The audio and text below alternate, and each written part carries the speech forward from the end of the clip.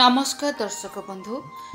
DTV ଓଡ଼ିଆକୁ ଆପଣମାନଙ୍କୁ ପୁଣି ଥରେ ସ୍ୱାଗତ କରୁଛି।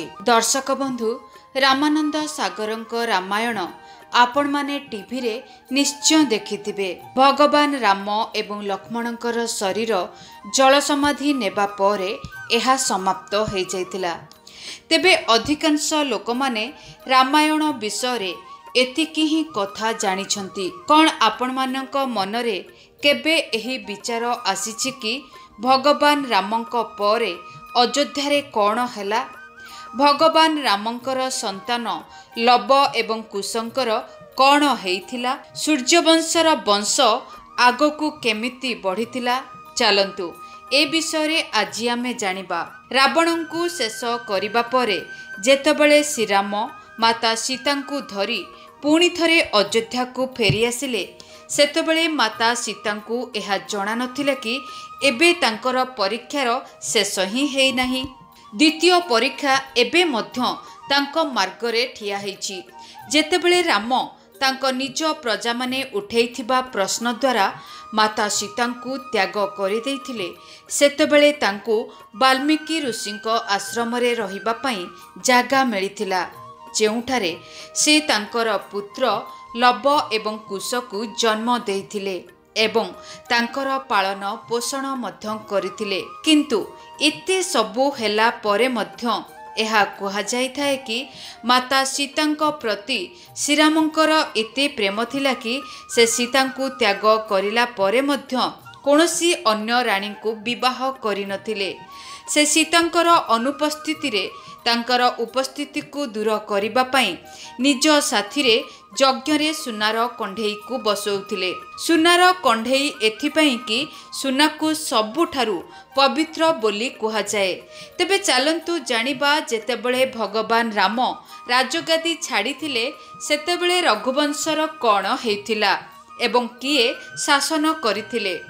ଭଗବାନ ରାମଙ୍କର ରାଜଗାଦି ଛାଡ଼ିବା ପରେ କ'ଣ ନିଜର ସେନାଙ୍କ ସହିତ ଅଯୋଧ୍ୟା ଆସିଥିଲେ ଏବଂ ସେ ସେଠାକାର ଶାସନ ସମ୍ଭାଳିଲେ? ସେ କୁମୁଦାବତୀଙ୍କୁ ବିବାହ କଲେ ଏବଂ ଅତିଥିଙ୍କର ପିତା ହେଲେ। ଏହା ପରେ ଅତିଥିଙ୍କର ପୁତ୍ର ହେଲେ ନିଷାଦ। ନିଷାଦଙ୍କର ପୁତ୍ର ହେଲେ ନଳ ନଳଙ୍କ ପରେ ହେଲେ ନବ। ଏହିପରି ଭାବରେ ଏହି ବଂଶ ବଢ଼ି ବଢ଼ି ଯାଇ ପହଞ୍ଚିଲା ମହାଭାରତ ସମୟର ରାଜା ବୃହତ୍ବଳଙ୍କ ପର୍ଯ୍ୟନ୍ତ। ଇତିହାସରେ ବୃହତ୍ବଳଙ୍କ ବର୍ଣ୍ଣନା ପଚାଶ ପିଢ଼ି ପର୍ଯ୍ୟନ୍ତ ହୋଇଥାଏ। ଏମାନେ ଭଗବାନ ରାମଙ୍କର ସେହି ବଂଶଜ ଥିଲେ ଯିଏକି କୁରୁକ୍ଷେତ୍ର ଯୁଦ୍ଧରେ କୌରବମାନଙ୍କ ତରଫରୁ ଯୁଦ୍ଧ ଲଢ଼ିଥିଲେ। ଚକ୍ରବୃହ ଯୁଦ୍ଧ ଦ୍ୱାରା ଅଭିମନ୍ୟୁ ଏବଂ ବୃହତ୍ବଳଙ୍କ ମଧ୍ୟରେ ଘମାଘୋଟ ଯୁଦ୍ଧ ହେଇଥିଲା। ଅଭିମନ୍ୟୁଙ୍କର ଘାତକ ତୀର ଦ୍ୱାରା ବୃହତ୍ବଳଙ୍କର ମୃତ୍ୟୁ ମଧ୍ୟ ହୋଇଥିଲା। ତେବେ ଆପଣମାନଙ୍କୁ ଜଣାଇ ଦେଉଛୁ କି ପୁରାଣରେ ଭରତ ଲକ୍ଷ୍ମଣ ଏବଂ ଶତ୍ରୁଘ୍ନଙ୍କର ଦୁଇ ଦୁଇଟି ଲେଖାଏ ପୁତ୍ରଙ୍କ ବିଷୟରେ ବର୍ଣ୍ଣନା କରାଯାଇଛି। ଭରତଙ୍କର ଦୁଇଟି ପୁତ୍ର ଥିଲେ ଯାହାଙ୍କର ନାଁ ହେଲା ତକ୍ଷ୍ୟ ଏବଂ ପୁଷ୍କର। ଲକ୍ଷ୍ମଣଙ୍କର ପୁତ୍ରଙ୍କର ନାମ ଚିତ୍ରାଙ୍ଗଦ ଏବଂ ଚନ୍ଦ୍ରକେତୁ ଅଟେ। ଏବଂ ଶତ୍ରୁଘ୍ନଙ୍କର ପୁତ୍ରର ନାମ ସୁଭାଉ ଏବଂ ସ୍ୱରସେନ ଥିଲା। ମଥୁରାର ନାଁ ପୂର୍ବରୁ ସୁରସେନ ଥିଲା। ଯେତେବେଳେ ରାମ ବନପ୍ରସ୍ଥ ନେବା ପାଇଁ ନିର୍ଣ୍ଣୟ ନେଇ ଭରତଙ୍କର ରାଜ୍ୟ ଅଭିଷେକ କରାଇବାକୁ ଚାହିଁଲେ ସେତେବେଳେ ଭରତ ଆଦୌ ରାଜି ହେଲେ ନାହିଁ ଏବଂ ଦକ୍ଷିଣ କୌଶଳର ପ୍ରଦେଶରେ କୁଶ ଏବଂ ଉତ୍ତର କୌଶଳରେ ଲବଙ୍କର ଅଭିଷେକ କରିଦିଆଗଲା। ଭଗବାନ ରାମଙ୍କ ସମୟରେ ମଧ୍ୟ କୌଶଳ ରାଜ୍ୟ ଉତ୍ତର କୌଶଲ୍ୟ ଏବଂ ଦକ୍ଷିଣ କୌଶଲ୍ୟ ମଧ୍ୟରେ ବିଭାଜିତ ହେଇଥିଲା କାଳିଦାସଙ୍କ ରଘୁବଂଶର ଚରିତ୍ର ଅନୁସାରେ ରାମ ତାଙ୍କର ପୁତ୍ର ଲବକୁ ସରାବତୀର ଏବଂ କୁଶକୁ କୁଶାବଲୀର ରାଜ୍ୟ ପ୍ରଦାନ କରିଥିଲେ। ସରାବତୀକୁ ଶ୍ରୀବସ୍ତି ବୋଲି କୁହାଯାଏ। ଏହା ନିଶ୍ଚିତ ଭାବରେ ଲବଙ୍କର ରାଜ୍ୟ ଉତ୍ତର ଭାରତରେ ହିଁ ଥିଲା ଏବଂ କୁଶଙ୍କର ରାଜ୍ୟ ଦକ୍ଷିଣ କୌଶଲ୍ୟରେ ଥିଲା। ରଘୁବଂଶର ଚରିତ୍ର ଅନୁସାରେ କୁଶଙ୍କୁ ଅଯୋଧ୍ୟା ଯିବା ପାଇଁ ବିନ୍ଧ୍ୟାଚଳକୁ ପାର କରିବାକୁ ପଡ଼ୁଥିଲା। ଏଥିରୁ ଏହା ପ୍ରମାଣିତ ହେଇଥାଏ କି ତାଙ୍କର ରାଜ୍ୟ ଦକ୍ଷିଣ କୌଶଲ୍ୟରେ ଥିଲା। କୁଶଙ୍କର ରାଜଧାନୀ କୁଶାବତୀ ଆଜିର ବିଳାସପୁର ଜିଲ୍ଲାରେ ଅବସ୍ଥିତ ଏବଂ କୌଶଲ୍ୟକୁ ରାମଙ୍କର ମାତା କୌଶଲ୍ୟାଙ୍କର ଜନ୍ମଭୂମି ବୋଲି କୁହାଯାଏ। ସେହିପରି ଅନ୍ୟପକ୍ଷରେ ଐତିହାସିକ ତଥ୍ୟ ଅନୁସାରେ ଲବ ଲବପୁରୀ ନଗରର ସ୍ଥାପନା କରିଥିଲେ ଏବଂ ଲବପୁରୀକୁ ପରେ ଲୋହପୁରୀ ବୋଲି କୁହାଗଲା। ଯାହା ବର୍ତ୍ତମାନ ସମୟରେ ପାକିସ୍ତାନରେ ଅବସ୍ଥିତ ସହର ଲାହୋର ଅଟେ।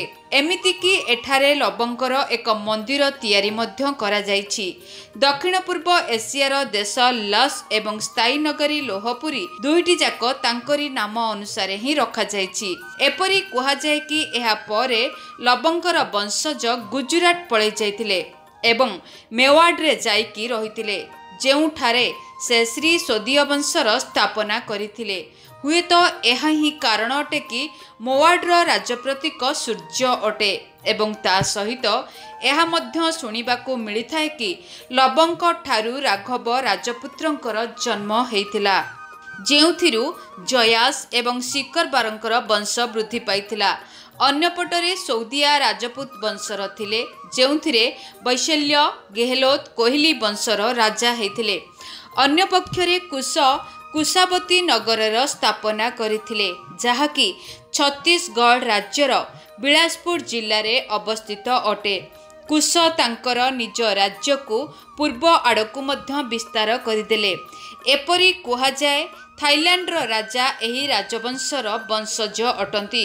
ହୁଏତ ଏହି କିଛି କାରଣରୁ ଥାଇଲାଣ୍ଡର ରାଜାଙ୍କୁ ଆଜି ମଧ୍ୟ ରାମଙ୍କର ଉପାଧି ଦେବା ପ୍ରଥା ଯଥାବିଧି ରହିଛି। କୁଶରୁ କୁଶ୍ୟମାନେ କଇଁଛ ରାଜପୁତଙ୍କର ବଂଶ ବଢ଼ି ଚାଲିଥିଲା।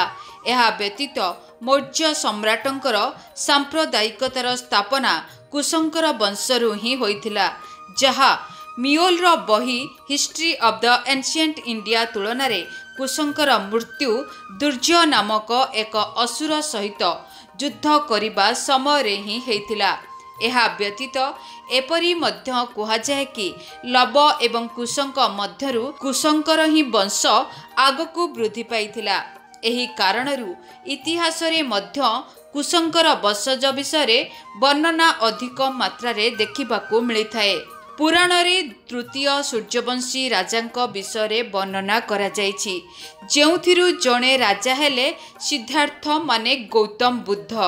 ସୂର୍ଯ୍ୟବଂଶର ଅନ୍ତିମ ରାଜା ରୂପରେ ରାଜା ସୁମିତଙ୍କୁ ମଧ୍ୟ ଜଣାଯାଇଥାଏ ଯିଏକି ନନ୍ଦବଂଶର ସଂସ୍ଥାପକ ପଦ୍ମନନ୍ଦକୁ ହରାଇ ଅଯୋଧ୍ୟାକୁ ନିଜର ଅଧୀନକୁ ନେଇଯାଇଥିଲେ। ଏହି ସମୟରେ ଖ୍ରୀଷ୍ଟପୂର୍ବ ଚାରିଶହ ପଚାଶରୁ ତିନିଶହ ଷାଠିଏ ପାଖାପାଖି ହେଇଥିବ। ଦୁଇହଜାର ଉଣେଇଶ ମସିହାରେ ଭାରତର ସର୍ବୋଚ୍ଚ ଅଦାଲତ ପଚାରିଥିଲେ କି କ'ଣ ରାମଙ୍କର ଆଜି ମଧ୍ୟ କୌଣସି ବଂଶଜ ଅସ୍ତିତ୍ୱରେ ଅଛନ୍ତି? ସେହି ସମୟରେ ଜୟପୁର ରାଜପରିବାରରୁ ଦିଆ କୁମାରୀ ଏକ ପତ୍ର ଦ୍ୱାରା କିଛି ପ୍ରମାଣ ଦେଇଥିଲେ।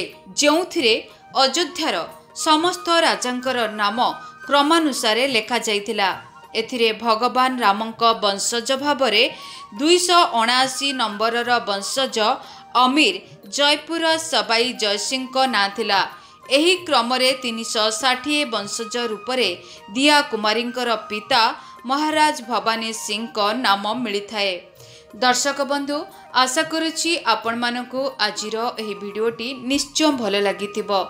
ଏ ସମ୍ପର୍କରେ ଆପଣଙ୍କର ମତାମତ ଆମକୁ କମେଣ୍ଟ ବକ୍ସରେ ଲେଖିକି ଜଣାଇବେ। ଧନ୍ୟବାଦ। ଡିଟିଭି ଓଡ଼ିଆ ଦେଖିବା ପାଇଁ ସବସ୍କ୍ରାଇବ୍ କରନ୍ତୁ ଏବଂ ବେଲ୍ ଆଇକନ୍କୁ ମଧ୍ୟ ଦବାଇ ଦିଅନ୍ତୁ।